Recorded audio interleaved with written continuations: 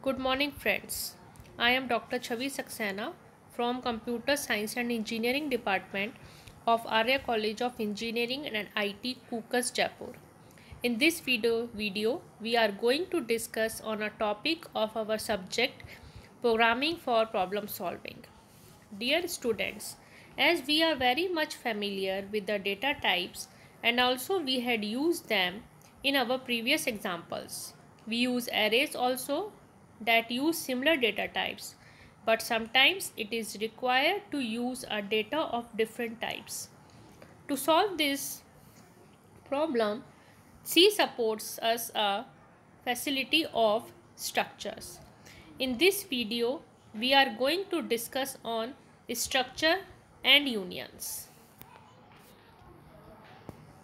Now, what is structure? Structure is a data type of different types.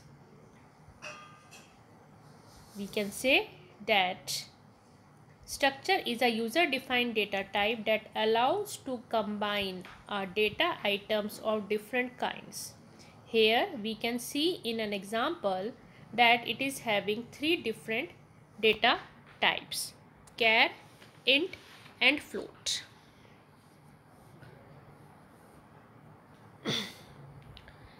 Here the structure address is created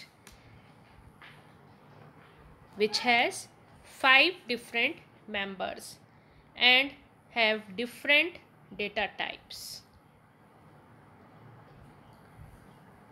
Once we create a structure, we have to create a variable also. So variable of a structure is nothing but a simple variable of struct type. Like we declare int b integer is a data type and b is a variable.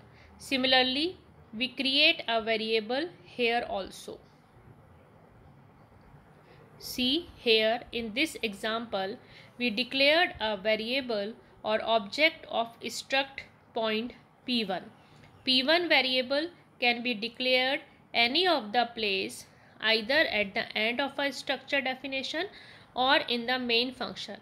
You can see in the example.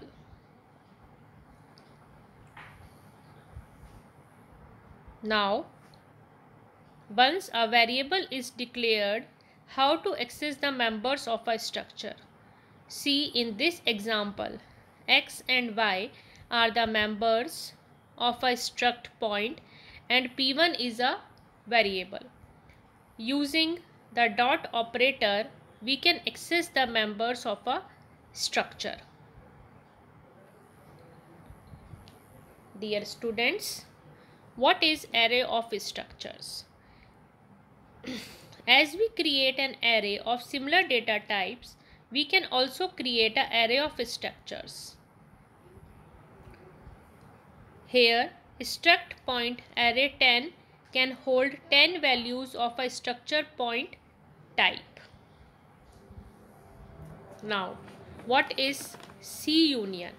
C union is a special data type available in C that allows to store a different data type in a same memory location. It is defined similarly as structures but using a keyword union. So, union can be defined similarly to the structure but in place of a union we can but sorry but in place of structure we can use a union keyword. Here is an example. The program display the allotted memory size which is 20 because only the largest member gets the memory. In this example, char string 20 is of the largest size. Here the basic difference between structure and union. Dear students, here is a example on structures to, to hold the record of a book. Thank you.